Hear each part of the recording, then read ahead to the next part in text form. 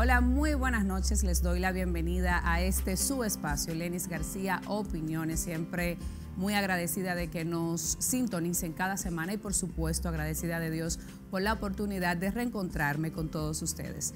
Hoy tenemos dos invitados muy especiales. Nos acompaña el abogado José Martínez Hoppelman, quien también es aspirante a la Defensoría del Pueblo, y el sociólogo político y ahora aspirante a diputado por la circunscripción número uno del Distrito Nacional, Carlos de Peña. Con ellos conversaremos acerca de los temas de interés que gravitan en la agenda política y social de la República Dominicana. Acompáñanos y antes quiero reiterar la invitación a que sigas nuestras redes sociales, como ves en pantalla, arroba Lenis Opiniones.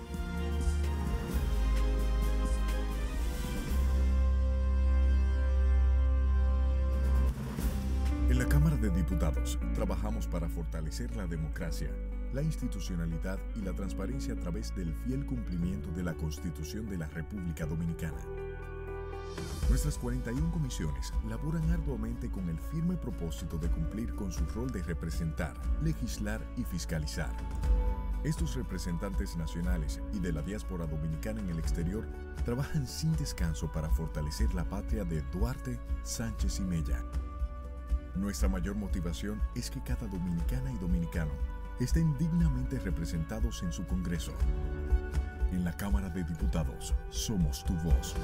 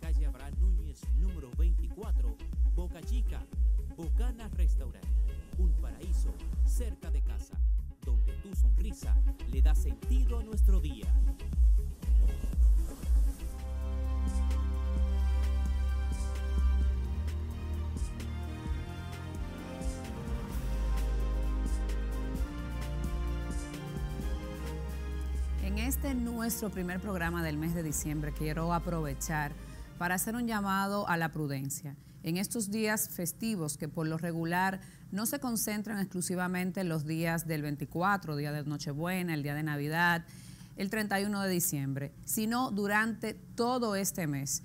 Reducir el consumo de alcohol y evitar el exceso, porque el exceso de alcohol contribuye de manera significativa a las muertes por accidentes, a la violencia y a generar sosiego y hechos de violencia que luego lamentamos y que son comunes en esta temporada. Así que vamos en este mes a disfrutar de las fiestas navideñas y todo lo que con ella trae esta temporada, sin excesos de alcohol y sobre todo con violencia cero. Igualmente quiero aprovechar y no puedo dejar pasar por alto este momento para hacer una reflexión acerca de la violencia de género y cómo durante el mes de noviembre y durante todo el año fuimos investidos con las trágicas noticias de más de 62 mujeres asesinadas durante todo el año.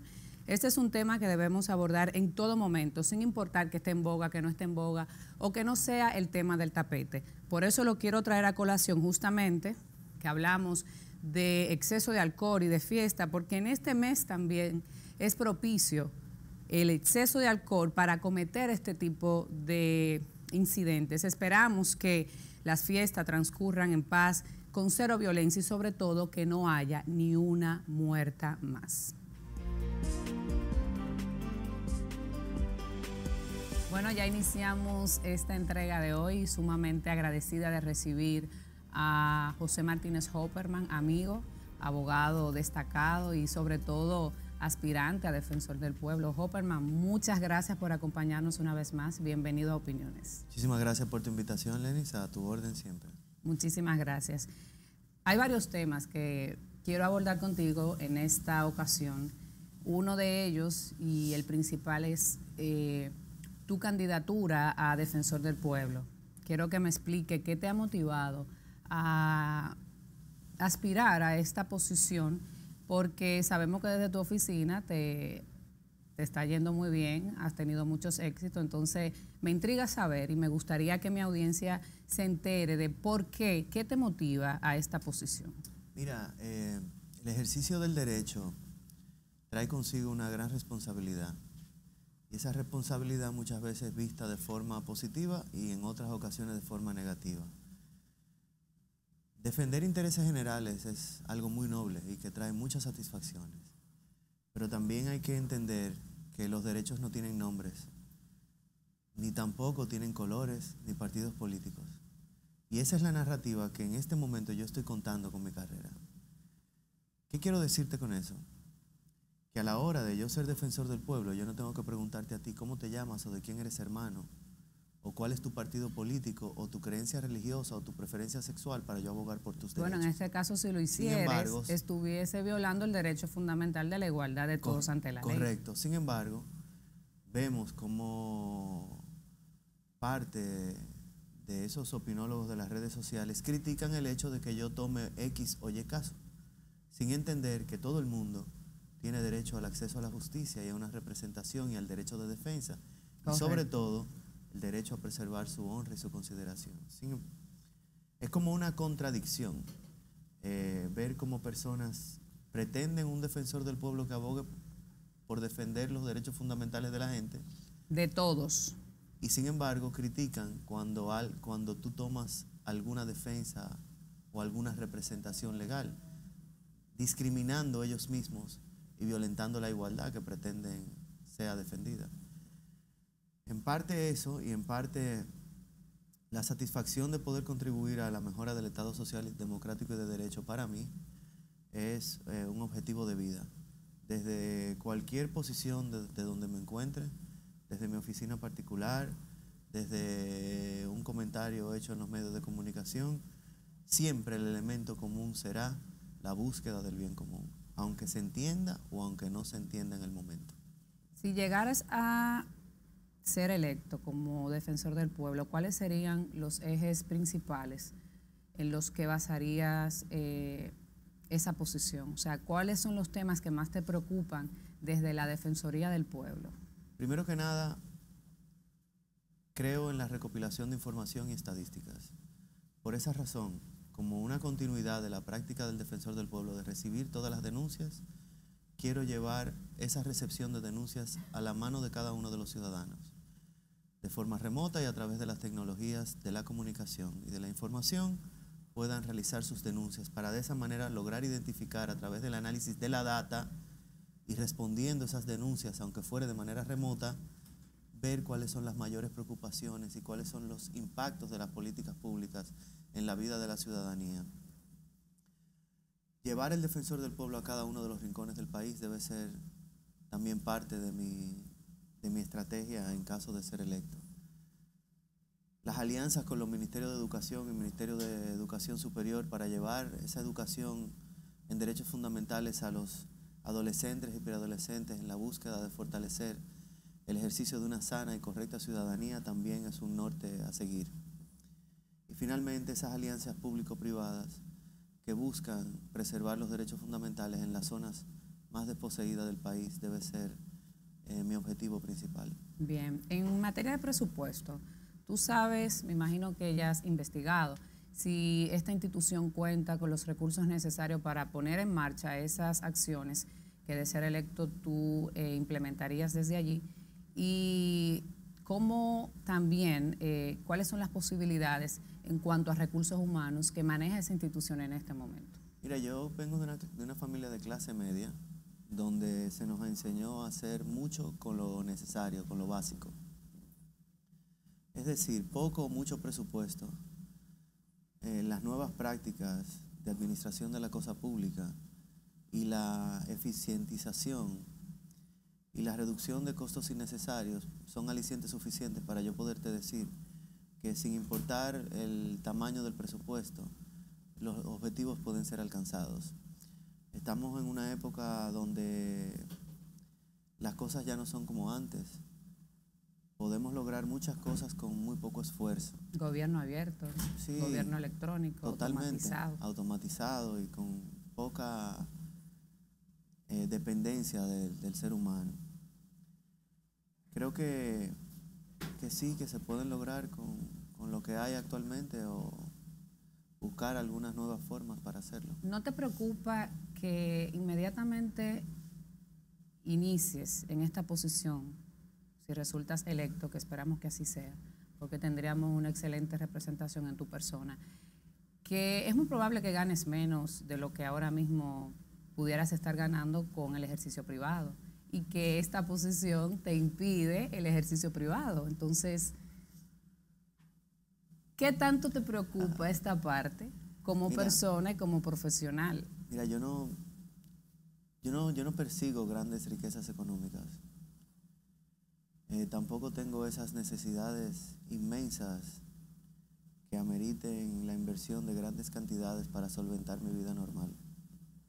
Yo tengo una vida austera, normal, dentro del parámetro que mi ejercicio profesional me permite. Y tengo mis necesidades básicas cubiertas con la gracia de Dios. Es decir, el tema económico para mí es adyacente, no principal.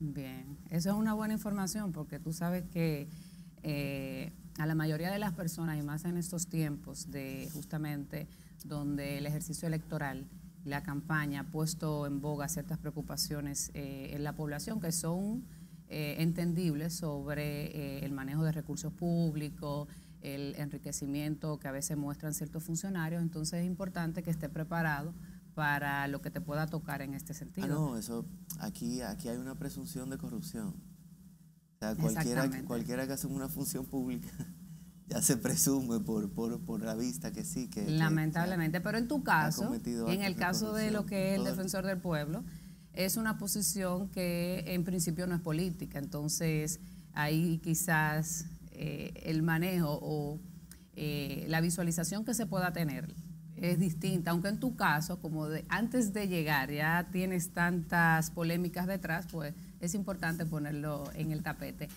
Eh, Hopperman, no podemos dejar de pasar el momento para hablar de un tema que en principio con la primera pregunta que te hice lo dejaste eh, medio posicionado, pero yo quiero planteártelo de manera directa. ¿Qué es lo que está pasando con el comunicador Marino Zapete? ¿Qué es lo que ha pasado por tu representación a la señora Maybeth Rodríguez, hermana del Procurador General de la República? Coméntanos por qué se ha generado toda esta polémica, qué está pasando y qué persiguen ustedes. Pero tengo que hacer una pausa. Esa pregunta me la responde luego cuando regresemos. Ya volvemos.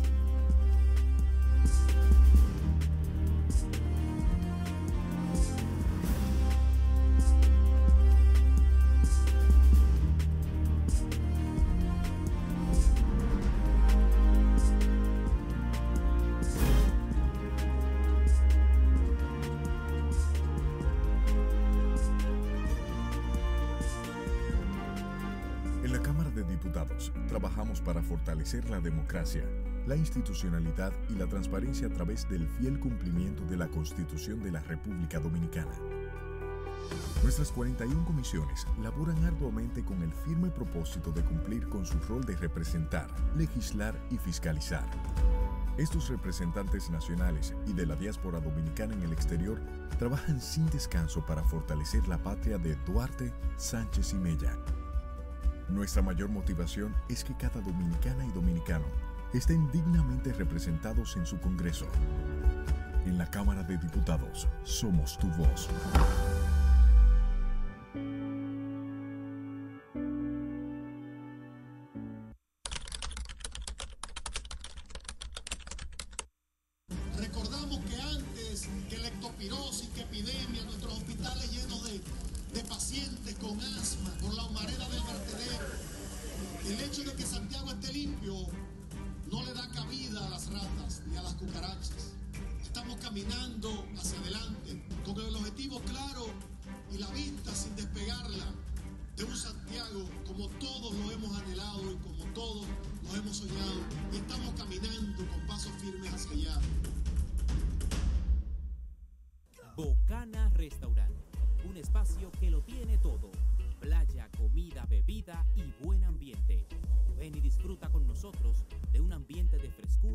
Frente a la playa y una cocina exquisita al mejor precio. Estamos ubicados en la calle Abraham Núñez, número 24, Boca Chica, Bocana Restaurant, un paraíso cerca de casa, donde tu sonrisa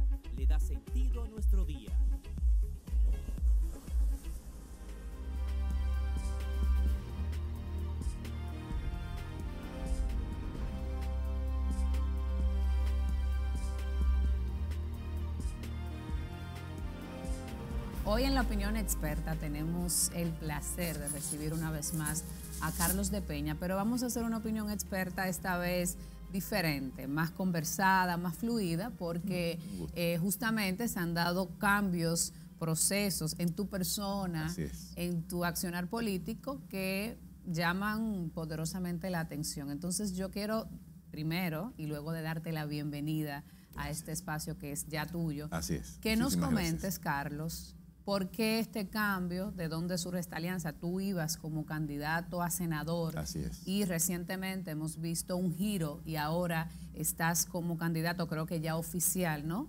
Tú confirmas o no, por el Partido Revolucionario Moderno En o en una alianza. en la alianza. Explícanos esto y te veo muy de cerca también con Farideh Raful. Así es. Bueno, bueno, buenas noches y gracias por siempre estar. Yo me siento en casa, me siento muy cómodo Tú aquí. sabes que me ya tú eres una encanta. habitud, me ya tú eres parte de nosotros. Magnífico. Mira, te cuento, e- es, raro, sí, porque eh, nadie declina. Hay una concepción jerárquica de la política en este país y siempre te dicen, bueno, comienza como regidor, como y luego alcalde. Es como si fuera una escalera. Pero la política no se practica de esa manera, o, por lo menos en las democracias maduras no se practica así. Tú ocupas cargos determinados, puede ser un cargo ministerial, puede ser un cargo de ejercicio municipal o legislativo, y es por el rol, por una visión, una visión de Estado, una visión económica, una visión de la sociedad, y tú quieres que tu visión se desplace en ese espacio de poder. Si llegas a alcanzarlo, magnífico, bueno, pues ahí hay un aporte, y si no, bueno, pues igual continuar aportando a abrir la conciencia de la gente. Entonces, ¿qué pasa? Mi candidatura a senador en 2016, que fue fortuita, implicó un aprendizaje gigante para mí en materia legislativa, en materia de, de- de participación democrática, de lo que implicaba una institucionalidad real y eficiente en un Estado y en una sociedad madura. Y yo dije, bueno, voy a continuar ese propósito en 2020, pero no por senador, porque de hecho mi propuesta, no sé si recuerdas, era- es, es eliminar el Senado. En algún momento del futuro yo creo que debemos entrar en, esa, en, esa, en ese debate, en esa coyuntura, de decir, bueno, ¿qué vamos a hacer con esta Asamblea Nacional? Reorganizarla, hacerla más eficiente, más productiva. Pero el punto central para mí era, bueno, eso yo lo veo lejos todavía. Sí, igual- Porque igual, parte, bueno. parte de algo fundamental que es la conciencia de los Sí, la legisladores, ciudadana, ¿eh? de los Sí, legisladores igual. de turno y la voluntad Claro. política de No, y que el ciudadano elija legisladores, como dices, que Claro. tenga la voluntad de hacerlo. Pero mientras eso llega, yo creo que yo me, me- me- me sentí y me siento representado por el proyecto que Farideh Raful encarna al, al Senado. Por dos razones. Creo que ella, en su trayectoria como diputada, ha demostrado un ejercicio distante y diferente de, de las prácticas legislativas habituales de legisladores y legisladoras, eh, con una concepción mucho más... eh, fiscalizadora. eh, no, el, que en el caso de ella más fiscalizador, Sí, en el en el caso, caso de los de otros ella. más sello gomígrafo del, del Poder Ejecutivo. A mí me parece que el rol de ella, independientemente de la valoración que usted pueda hacer de sus ideas, el rol de fiscalización, de interpelación, es sumamente necesario en el Congreso. Hay que multiplicarlo. Y yo creo que en el- ella, ella decidió dar un paso hacia, hacia la otra Cámara, hacia el Senado. A mí me parece magnífico.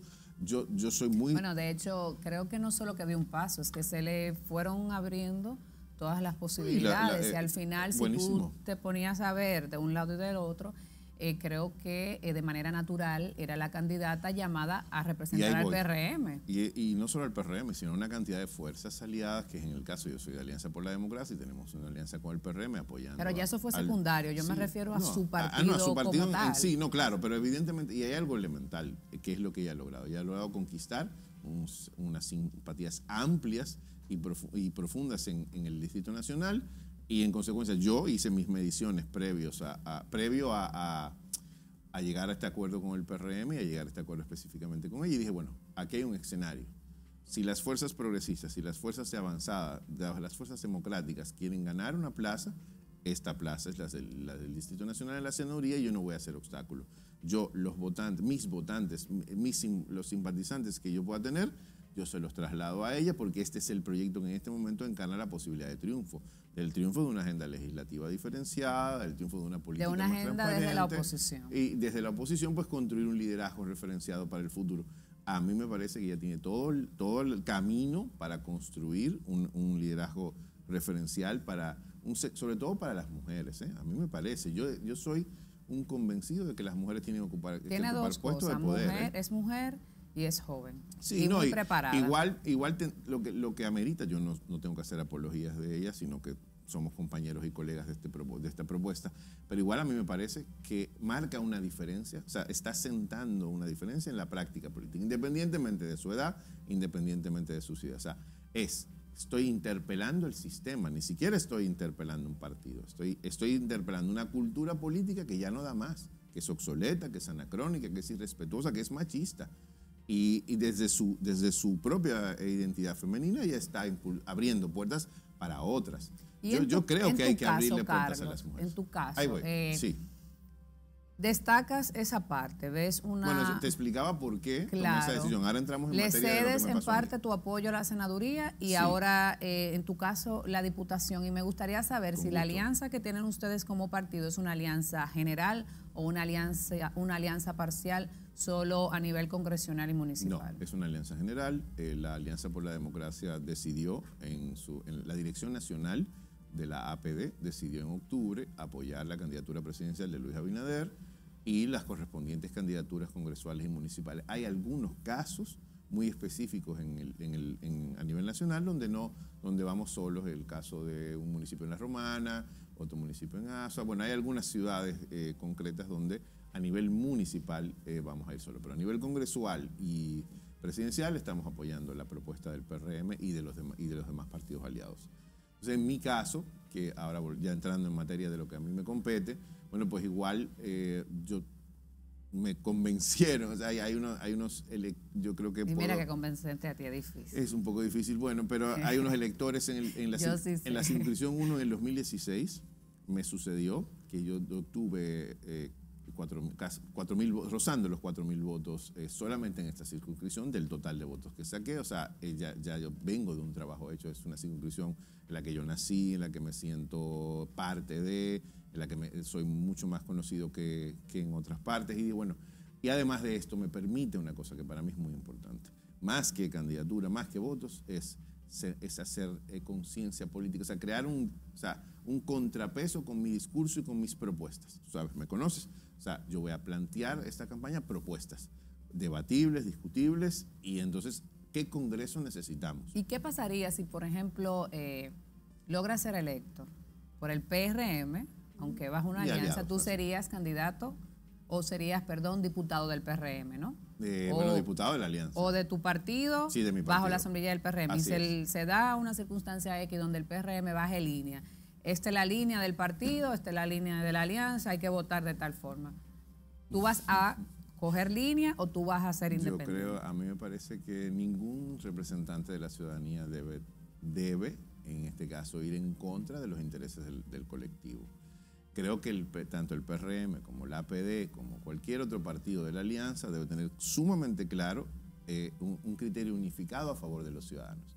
Si en alguna circunstancia o escenario yo entiendo e interpreto desde mi propio juicio que hay una lesión a la democracia, una lesión a la ciudadana, puede venir el Papa Francisco y decirme que yo tengo que hacer lo contrario y yo voy a hacer lo que me dicte mi conciencia y mi ética. No hay negociación ni transacción con mi ética, eso lo saben en el PRM, lo saben en el APD y lo sabe cualquiera. No hay negociación en ese marco. O sea, no hay que beneficiar a particulares, hay que beneficiar a la colectividad. En el caso de lo que pasó en estos días con el tema del, Bueno, del eh, Congreso, esa es o una sea, de de- La que hace, a mediados de la semana, de exacto, hecho, en esta semana. eh, hubo una, se sometió a votación, creo que en segunda lectura, ¿no? El proyecto o la ley complementaria del presupuesto. es. Entonces, esto ha generado unas polémicas por el hecho de la forma en la que se manejaron los partidos de oposición. ¿Qué opinión te amerita esto? Y en parte te hice la pregunta Sí, justamente me- por este sí. tipo de acciones que a veces eh, generan confusión en la ciudadanía sobre los verdaderos intereses que hay detrás Mira, de los diferentes hay un partidos. diseño parlamentario. Ese diseño parlamentario tiene implicaciones. ¿no? Nos desgastaríamos en el tiempo del programa eh, explicándolo. Pero hay una, hay una cosa que tiene que estar clara. ¿A qué intereses sirves cuando levantas tu mano, cuando te sientas en esa curul, cuando dices representar? O cuando te abstienes. O cua- no, o- por eso te dije, o, o sea, cuando tú tomas una decisión en términos de la, de la participación parlamentaria, o sea, de lo que estás ejerciendo, tú eres un congresista, tú eres un, pero tú eres un, antes que nada un representante de intereses ciudadanos. Entonces tú me dices a mí, por más explicaciones que me des, si perjudicas al colectivo, entonces tú estás actuando incorrectamente. Esa actitud incorrecta tiene que cobrártela el electorado. Por eso yo- una de mis propuestas fundamentales es la, la revocación de mandato. No la revocación de mandato presidencial, también el congresual y municipal, lo hablamos alguna vez aquí. Claro. Entonces, yo, yo quiero someterme a, a- o sea, yo quiero som- no solo yo, sino someter a todo, a todo aquel que aspire y gane un cargo público a que pueda ser revocado el mandato por la ciudadanía. La democracia necesita esa posibilidad de contrapeso ciudadano, de auditoría ciudadana. Yo creo que hay que devolverle al- al- a la Asamblea la, la posibilidad de, de- de que la gente entienda que le pertenecen las instituciones públicas. Yo no sé que- si estamos tan preparados para eso, por el nivel de educación No, yo- que, sí, que pero- tenemos no. o que tiene la mayoría. Sí. Por ejemplo, fíjate el caso de lo que pasó eh, en Inglaterra con el caso del Brexit, que ahora ha sido un dolor de cabeza. Se puso en manos de... Porque hubo manipulación. se puso en manos de ese colectivo que quizás no tenía los parámetros para tomar una decisión correcta y ahora Sí, no, y, y- y- está el problema limbo. de la salida, pero sí, pero en ese caso, y recomiendo siempre el documental este sobre Cambridge Analytica, ahí hubo, ahí hubo eh, manipulación de la información, hubo manejo de posverdad. ¿Qué pasa? Eh, precisamente eso es lo que yo quisiera hacer desde el Congreso. Transparentar al máximo las informaciones, crear mecanismos legislativos y me- mecanismos de debate parlamentario que hagan, por ejemplo, con el caso del- de las memorias anuales del presidente. Tiene que haber debate parlamentario como hay, por ejemplo, en España. El presidente presenta las memorias, lo he dicho muchas veces y lo voy a insistir siempre. Presenta las memorias en este país, es un monólogo. Es un no. Lo que tiene que haber es un debate y una interpelación. El presidente, como responsable del Poder yo espero que Luis, al momento de ser elegido presidente ahora en mayo, pues sea uno de los principales y, y- y espero no dialogar solo con Luis, él. el que resulta electo, Bueno, sí, no pero en el caso de nosotros esperamos, confiamos Luis el- absolutamente que el va a ser Luis. Abinader el presidente, pero en ese contexto es que se comprometa a que, eh, ojalá el 27 de febrero del 2021, pues sea la primera vez que tengamos un proceso, un procedimiento donde el presidente presenta sus resultados y como pasa en cualquier organización privada, bueno, pues los ciudadanos o los representantes de los ciudadanos, uno que otro, porque no es un, uno- un gallinero como Claro. pasó, puedan interpelar al presidente. Presidente, ¿qué pasó con estos gastos? ¿Qué pasó con esta inversión? ¿Qué va a pasar con los planes de trabajo sobre educación, sobre salud? Y listo, y la población, eso que tú decías de la carencia de educación democrática, de la educación ciudadana, se corrige con información. Y si usamos el tiempo de televisión, el tiempo de radio, el tiempo de las redes, para otras cosas más banales, ¿por qué no usarlo para educar a la gente? Yo espero hacer esta campaña a diputado precisamente desde el, ma- desde la- desde la- el marco de la pedagogía política. O sea, ¿de qué se trata? Ah, eh, en estos días estuve con alumnos del Instituto José Francisco Peña Gómez, una experiencia extraordinaria, hablando de democracia y participación de la juventud. Y siendo estudiantes de ciencias políticas, por ejemplo, yo le- les decía, ¿cuál es la diferencia entre Estado y gobierno? Necesitamos que la gente entienda eso. Claro. ¿Cuál es el, ¿Cuáles son derechos y deberes? ¿Qué, qué es un parlamento al final? ¿Es, es solo eso? ¿Cuál es el rol del Congreso en sentido del- amplio? En sentido amplio. ¿Qué, qué- tú crees que lo que tú estás viendo ahí en esos videos es un Congreso? No, un Congreso es mucho más. Eh, un Congreso implica una relación con el orden constitucional. ¿Qué es el orden constitucional? No, ¿Por qué estos señores usan el martillo este para llamar a callar? ¿Qué es El mallete. el mallete. Fíjate como dije, fíjate hasta ahí en eso, como, como usualmente eh, hay esa transgres- esas transgresiones de vocabulario. Para mí la disputa fundamental es de los significados. ¿Qué significa cada cosa? ¿Por qué? Porque aquí Congreso significa mi Congreso y mi Congreso es sello gomígrafo mío. De mis De intereses. mis intereses, sea el presidente Es que sea, ¿eh? Porque una cosa es que hayan tomado al presidente Medina un anuncio sobre, y otra cosa, casi todo en la historia republicana nuestra siempre ha sido un, un sello gomígrafo del presidente de la República. Sí, y, y a veces Eso a tiene me- que cambiar ahora. A veces choca eh, porque estamos gravitando y como decía, eh, eh, hablábamos anteriormente, sobre la doble moral y la incoherencia. Hay gentes que critican, y con sobrada razón, que un mandatario X tiene ahora o tiene o ha tenido todos los poderes con hegemonía, pero Sí, igual lo tuvieron, absoluto. pero igual ustedes lo tuvieron en un momento y no lo criticaron. No sé si me entiende a dónde sí, sí. voy. Ahora, ¿dónde está la responsabilidad Eso de un que, un, que ¿eh? mandatario, eso es incoherencia. Sí, sí, y un cuando tú lo tenías, es como con el caso de la ley. Yo quiero que la ley se cumpla siempre y cuando a mí no me afecte. Entonces pasa lo mismo. Yo quiero tener hegemonía en todos los poderes cuando yo sea gobierno, pero yo lo critico cuando lo tiene otro. Ahora, ¿quién es el responsable de que un mandatario, de que un partido X tenga hegemonía en todos los poderes? Son los votantes. Entonces, así como tenemos malos legisladores, también tenemos malos votantes. Y eso está radica en lo Eh, mismo que igual hablamos, que es la En la educación. relación entre eh, educación la y educación. información electoral. Una de las cosas que igual me gustaría a mí es contrastar, porque aspirar a un cargo público lo hace cualquiera. Y de hecho eso sea cualquierizado. No, y- pero es un deber, Eh, es un A mí derecho, me parece, sí, pero a mí me parece que tiene que haber, por ejemplo, una escuela de formación de candidatos y candidatas donde para uno aspirar tenga que someterse a un filtro formativo para por lo menos dominar lo fundamental. O sea, por ejemplo, el ordenamiento jurídico, es. La, la- la- la- la administración macroeconómica, lo la base. O sea, cuando usted va a ocupar una función eh, pública, usted tiene que tener sentido de Estado. El sentido de Estado se, se, se, se- nutre de dos cosas, de, lo- de los fundamentos teóricos y de la práctica. Quizás usted, porque sea opositor durante muchos años, no le tocó la práctica. O porque no resultó o electo. porque no resultó electo, pero por lo menos tiene una visión de, de los mínimos. O sea, no puede ser que usted desee ser diputado o diputada o, congres- o senador o senador o presidente o lo que sea, o alcalde, y no tenga nociones de, de- de las relaciones de poder, de, los- de Claro. lo que implica y sobre todo de a quién sirve. Porque mi mayor preocupación sobre esto de la crisis de lo político, lo, lo más importante de la esencia de estas candidaturas y de disputarle el espacio público a, a otros es lo siguiente. La política se ha degradado como ciencia. No le pasa a los abogados, no le pasa a los ingenieros, no le pasa a los tecnólogos. A la, política le pasa que hay una degradación profesional, o sea, profesional en el sentido de, oficio, de dominio de un oficio. La calidad política dominicana ha bajado mucho en los últimos años. ¿Por qué? Porque no, ha- no hay la formación de vida en las capacidades o habilidades que un político debería tener. Que, que no se trata de comunicar muy bien, o de dar besos o abrazos en, un barrio, o de subir a Instagram lo bien que yo, que yo eh, hago esto o aquello. No, es ciudadano o ciudadana, usted va a votar por un determinado candidato o candidata. ¿A partir de qué? De lo bonito que habla, de lo inteligente que es, de lo bien que se ve o de lo que te propone para, para mejorar tu calidad de vida.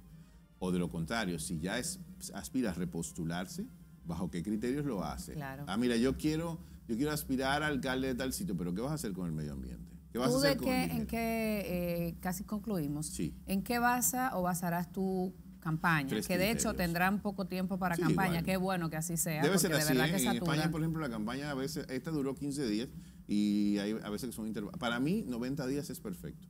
Se puede hacer. ¿En qué, vas, ¿En qué Eh, criterios. la fortaleza de tu campaña? Sí, uno. Y de antemano te digo que tenemos el compromiso de vernos Sí, de ya vernos, a partir de enero del año Correcto. 2020, cuando se acerquen los días. Sí, eh, contrastar con otras propuestas. Definitivamente. Es- esa será la idea. Ya verás lo aquí los debates. Ojalá podamos debatir y ver otras opciones. Bueno, a- esperemos a que los demás aspirantes acepten cuando les invitemos a los debates. Desde que sea ya lo, ¿eh? claro, desde Sí. ya lo hago público. Eh, esperemos que participen, porque a veces se puede ver que, bueno, llevan a estas personas nada más, pero No, no, hace el esfuerzo plural, de ¿eh? invitar a otros Claro. y no participan. Entonces hay que darle participación hay al que realmente acepta el reto y acepta la responsabilidad de dar la cara.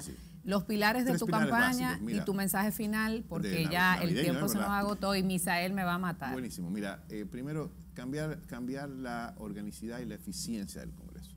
El Congreso Dominicano es muy caro para, la, para lo que produce. O sea, tiene que haber productos legislativos mucho mejores a los que tenemos ahora y eso implica un cambio en la economía congresual, que es cuánto dinero le invertimos per cápita a esos congresistas y el resultado final. Eso lo podemos hablar más profundamente en, otras circunstancias. Segundo, tiene- el tema de legislación económica. Hay que, crear, hay que crear una economía productiva.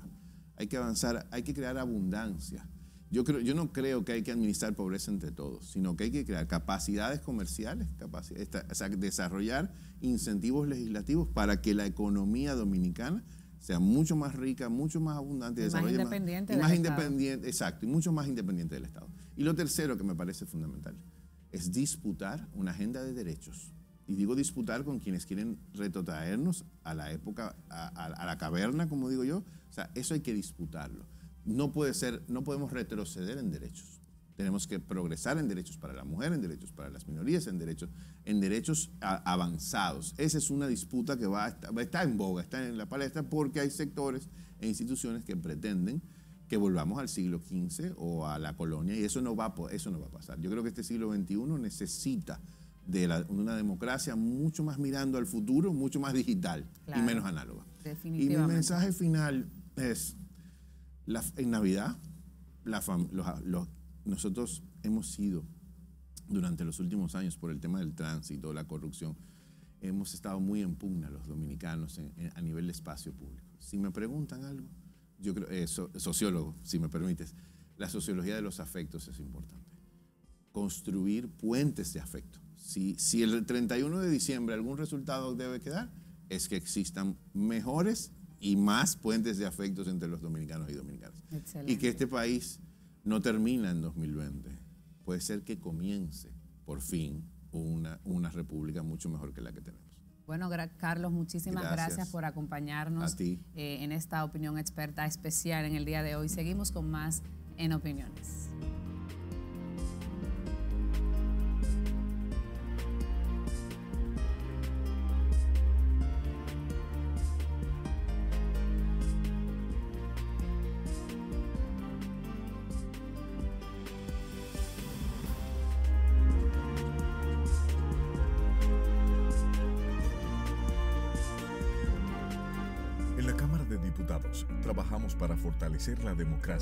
La institucionalidad y la transparencia a través del fiel cumplimiento de la Constitución de la República Dominicana.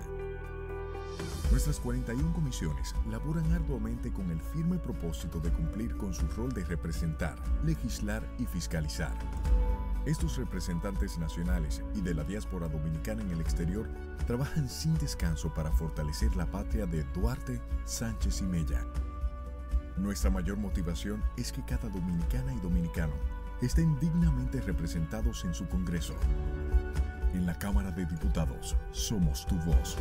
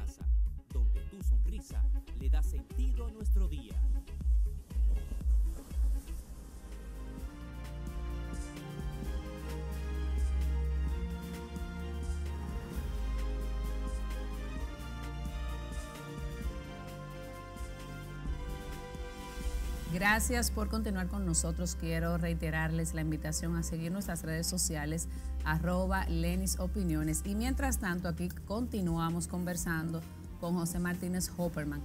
Dejé una pregunta antes de irnos a la pausa y es el momento de que nos des la respuesta. ¿Qué es lo que ha pasado? ¿De dónde se origina todo esto? Para que luego veamos algunos aspectos puntuales. Mira, desde mediados del mes de noviembre se depositó una acusación de carácter privado donde el ministerio no forma parte, el Ministerio Público no forma parte, en contra del señor Marino Zapete, por haber transgredido los límites legales de la libertad de expresión cometiendo el delito de difamación. Eh, transcurrieron todos esos días y nosotros, como, como abogados, no hemos hecho ninguna declaración al respecto de ese proceso. No queremos llevar al foro de la comunicación pública algo tan delicado como la dignidad y la honra de un ser humano, que es un derecho fundamental. No es nuestro estilo.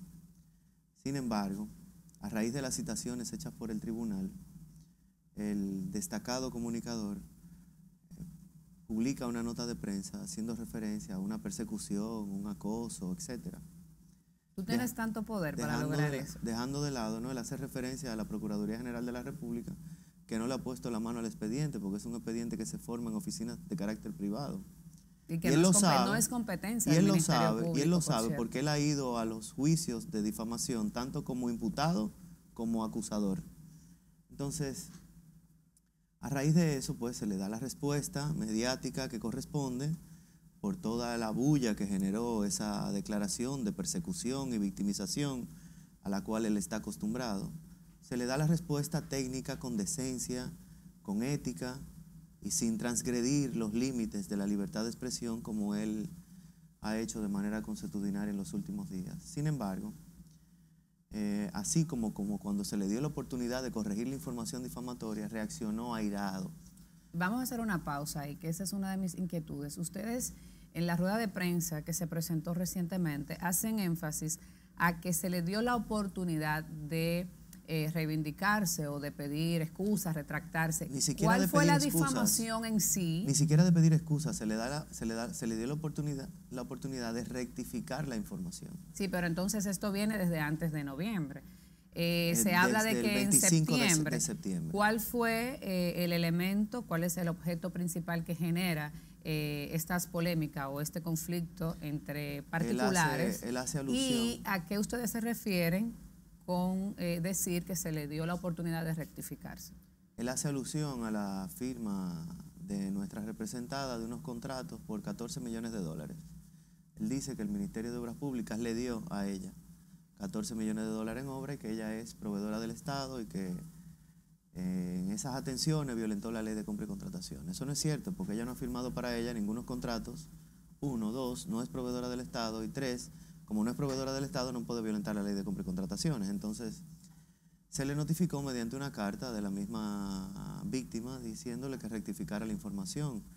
De igual manera, el mismo canal donde él trabajaba le dio la, la oportunidad de que rectificara la información a la vista de la documentación que sustentaba la petición de rectificación. Sin embargo, al igual que como lo hizo después que el tribunal lo citó y después de la, de la rueda de prensa a la que tú haces referencia, reaccionó aireado, indignado y entonces con una nueva ola de cacería de moral y ética en contra del buen nombre y la honra de los demás, llegando al punto hasta de ir en contra de mi propia honra y consideración en su propio programa. Bueno, sí, de hecho, palabras muy fuertes. eh, Sí, claro, injuriosas, injuriosas, irrespetuosas.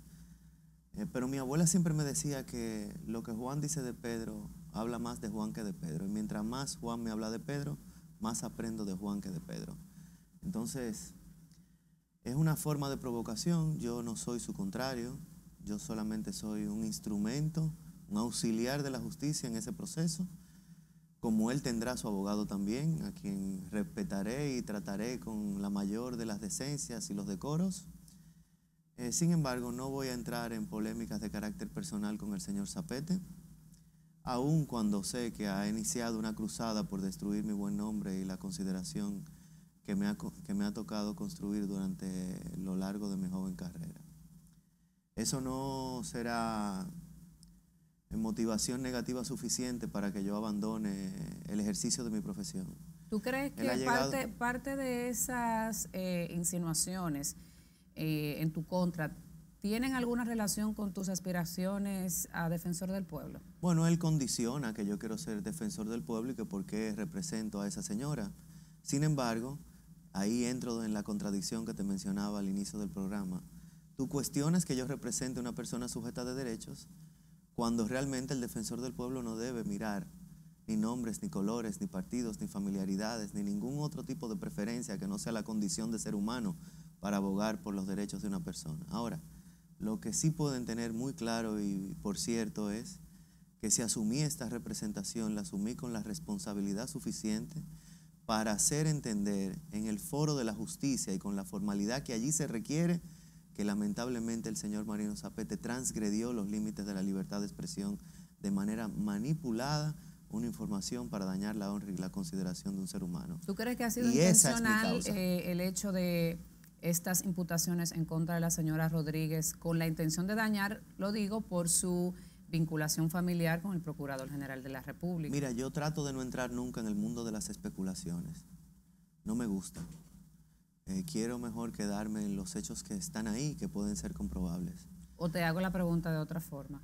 Si hubiese sido otra persona la víctima y la que en este momento reclama por el auxilio de sus derechos y su protección como mujer, que no fuera hermana del Procurador General de la República, ¿se hubiese dado el mismo escenario de polémicas y de insinuaciones malsanas, tanto para ella como en tu caso Es que yo creo como que, es que- abogado? Es que, yo creo que es que yo creo que él no hubiese transgredido el límite de la libertad de expresión difamando si no se tratara de ella. Es que yo creo que tampoco él hubiera transgredido ese límite conmigo, o difamando o injuriando, si no se tratara de un caso que para él representa un interés mayor por sus preferencias políticas. Para mí este caso no tiene, desde mi óptica, ninguna arista de carácter político. Esto es un reclamo del respeto de un derecho fundamental. Punto. No, y que Lo independientemente, al, al margen de que sea la hermana del procurador, del presidente, de la defensora del pueblo, es una ciudadana dominicana que tiene derechos, que lo puede eh, hacer valer por las vías que entienda pertinente, tanto para reclamar, co- para reclamar en el caso que fuere necesario, como para pedir defensa por la protección de sus derechos. Y más en estos tiempos donde en el mes de noviembre tuvimos la mala noticia que cada año se replica de muchísimas mujeres violentadas y la violencia no se da solamente en lo físico. No hay violencia solo cuando se llega a un feminicidio, hay muchos tipos de violencia. Este, de hecho, puede ser un tipo de violencia también contra una mujer. Mira, eh, para mí, a pe- a pesar de lo que usted menciona, para mí es altamente preocupante que una persona de su estatura llegue a los límites en que ha llegado. Señor Marino Zapete go- goza de una alta estima social. Es un destacado comunicador de la República Dominicana. Pero verlo en esa desesperación, la cual pudiera entender si me pongo dentro de sus más íntimos eh, deseos y sentimientos como ser humano, concho, es realmente preocupante. Verlo en una cruzada por destruir honras, eh, aún en contra de un abogado que es simplemente una persona que está ejerciendo su profesión, al igual como él dice que ejerce la de él. Entonces, él sí puede ejercer su profesión, yo no. Entonces, es un discurso de doble moral que siempre, siempre va resaltando su- sus condiciones de ética y arengando sobre su seriedad. Pero me apena bastante verlo en esas condiciones. Ojalá que, que logre aceptar consejos de sus personas allegadas, que logre analizar este tema más allá de lo sentimental y que trate de buscar una conciliación, porque no me queda la menor duda de que será condenado. ¿Qué buscan ustedes? ¿Qué persiguen en sus conclusiones, en las peticiones que plantean en la demanda que se está incoando a través de los tribunales? Mira, la ley de expresión y difusión del pensamiento pide, da, da un rango de, de hasta dos años de prisión correccional. Sin embargo, nosotros hemos pedido seis meses. Eh, hemos pedido una indemnización de 5 millones con promesa en la misma acusación de ser donados a una entidad sin fines de lucro. Y él toma esa información, la magnifica, se victimiza, pero no dice que él demandó a Marinos a, Melton Pineda y, y fue condenado por dos años y a 5 millones. Entonces, es a esa actitud a la que yo me refiero cuando una persona de su estatura comienza a caer de esta forma. Eh, lamentable, es lamentable y más porque de una u otra forma, eh, aparte del ejercicio profesional del derecho, también eh, tienes participación en los medios de comunicación, al igual que yo, Y Pero nunca los he usado para difamar a nadie, ni para ir más allá del rango del análisis profesional Estoy o de, la, o de la vida o de la vida profesional de una persona o de su accionar político. Ir a esos términos para mí no es un ejercicio responsable del periodismo. Eh, hacer referencias a persecuciones y limitaciones de derechos fundamentales para crear una exaltación social sin hacer referencia a ningún tipo de prueba o evidencia sobre eso, sin tener ningún tipo de sustento, es un ejercicio muy irresponsable del periodismo. Y esa es la cruzada que yo voy a llevar con este proceso. Bueno, en las redes sociales tienes un trabajo fuerte porque se ha desarrollado toda una campaña eh, en contra justamente de este proceso y de los reclamos que presenta la señora Rodríguez. Sí, eh, ahí están siempre los protestatodos de las redes sociales, los, hay que respetarles sus opiniones, siempre y cuando sean desde el, desde el respeto y no desde el insulto o de las injurias como a quien pretenden defender. Entonces, si te das cuenta, pues son perfiles parecidos, con objetivos parecidos, que eh, a, a vidas cuentas harán lo que entiendan que deban de hacer. Pero la sociedad dominicana va más allá de 500 o 600 comentaristas de las redes sociales. La sociedad va más allá de eso.